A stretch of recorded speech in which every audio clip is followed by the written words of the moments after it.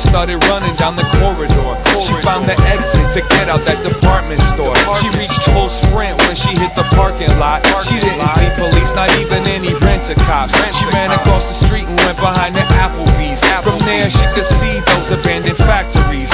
Figured there's a good place for her to hide away. Knowing she could climb inside through the fire escape. At this point, still felt like a dream. In her head, she could still hear the little kid screaming. Up against the dumpster to find some breath. She could hear the sirens, now it's time to step. Running through the alleyway, now relentless. Bobbing in between houses, hopping fences. Only two more blocks to the overpass. The adrenaline is rendering a panic attack. Maybe she should go back and explain it all. Maybe the best thing to do now is take that fall. Ain't no way that they won't understand. Daddy's little girl is never gonna hurt again.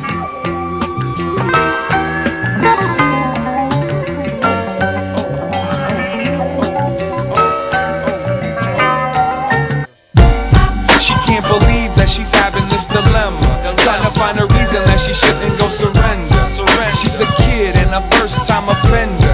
Plus, he had it coming, hell is colder in December. Decided she would make it to the vacant warehouse. From there, she could try to get her head to clear out. She needs a minute to sit and think, some time to reflect on these events and let them sink. Let them sink.